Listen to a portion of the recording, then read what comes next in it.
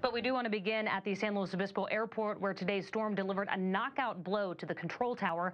Keith Carls is live at the airport with the very latest for us. Keith, good evening. Hi, Melissa and Scott. At least three lightning strikes hit the San Luis Obispo airport during the storms today, knocking out power briefly to the airport, the airport tower here behind me, and the terminal building.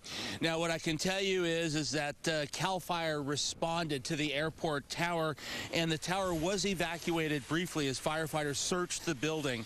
No smoke or fire was found. But the lightning strikes and loss of power resulted in at least one canceled flight and other flights delayed. Basically, lightning pretty much struck this place and all the power went out. But they didn't reimburse me with a new ticket, so I'm still being able to go home tonight.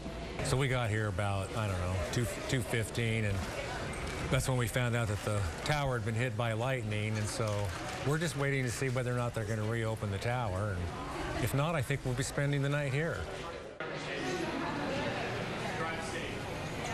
Now, flight arrivals and departures resumed this afternoon, but the disruption had a ripple effect on service.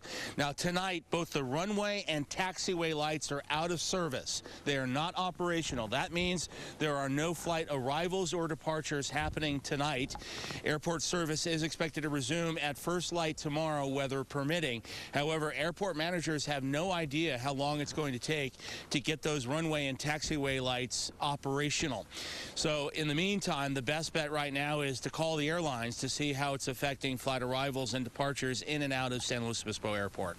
Live at San Luis Obispo Airport, Keith Carls, KCOY 12 Central Coast News.